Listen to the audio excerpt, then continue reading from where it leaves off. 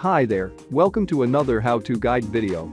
This time we're going to fix an issue with the uninstalling of Boom 3D.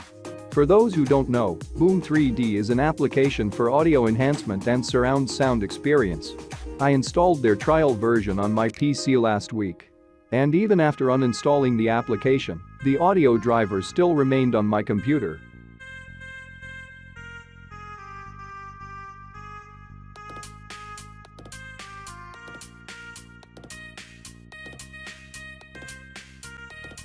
Like this, I tried removing the driver from Device Manager. Anyhow it will reappear when I scan for hardware changes. So, how could I get this thing out of my computer? I contacted their support and they provided me with a solution which I'm going to share with you now. In Device Manager, scroll down a little and find Sound, Video and Game Controllers. Expand it and you'll see the Boom Audio is existing there too. Right-click and uninstall it.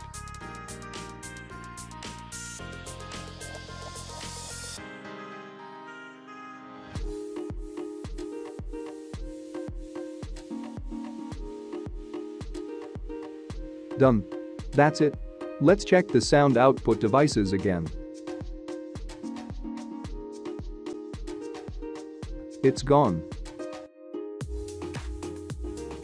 If you found this video helpful please give a thumbs up and click on the beautiful subscribe button.